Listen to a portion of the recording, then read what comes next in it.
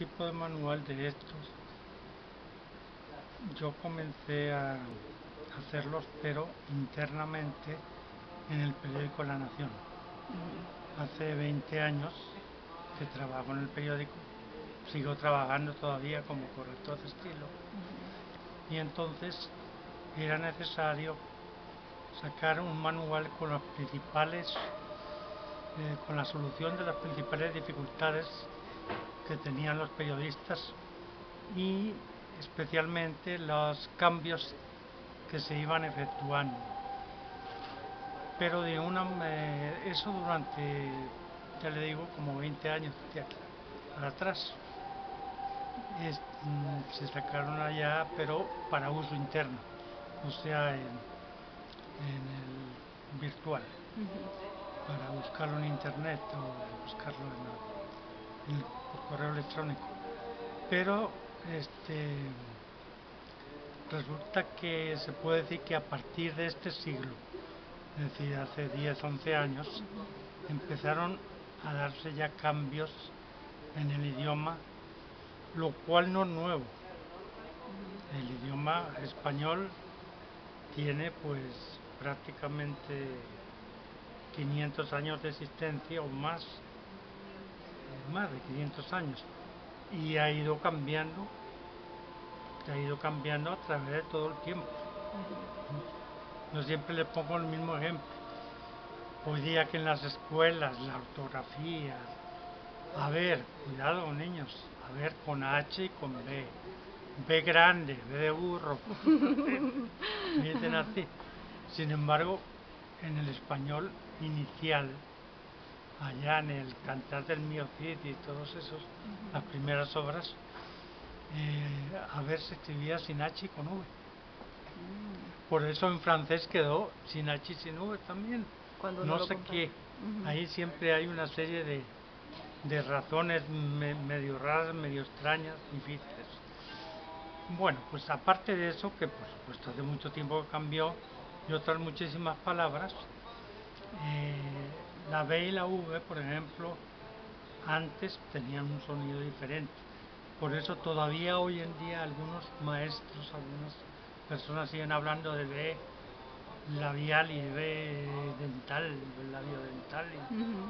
La B y la V se pronuncian en español exactamente lo mismo. Pero hubo un momento en que en realidad se pronunciaban de distinta manera. Eh, la H posiblemente existió una H aspirada que ha vuelto ahí un poco hoy por influencia de inglés en algunas palabras como Sahara y demás. Pero fuera de eso, el idioma ha ido cambiando enormemente. Eh, como digo, de lo que llevamos de, los 11 años que llevamos, casi 12, que vamos a comenzar el, el, el En estos 11 años eh, tenemos una nueva edición del diccionario, la 21 edición.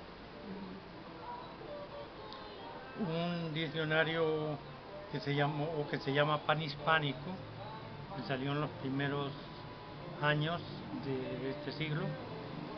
Y después este, el diccionario el diccionario esencial que es posterior al panhispánico y por último las dos grandes obras modernas de la, de la academia, que son la ortografía y la gramática. Son unas obras que ya están, ponen el español completamente al día, naturalmente que tardará mucho tiempo, porque son muchos cambios, ¿está bien? Entonces yo lo que hice fue, eh, con los primeros años del siglo, hice el los primeros, mm, las primeras listas, no llamamos manual porque al principio no se imprimieron, pero este, después ya por encargo del Ministerio de Educación Pública hice una edición especial para el Ministerio eh, para todos los profesores de español de secundaria, posiblemente en primaria también dieron algunos. Y ya por último, hicimos este que es el más moderno, Manual de Español Moderno de la editorial Jardines eh, en el que añadimos todavía más cambios que hubo desde el anterior que hicimos para el ministerio. Entonces este se puede decir que es el que está al día al día.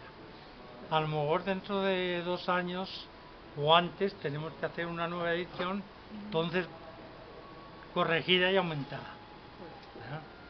Pero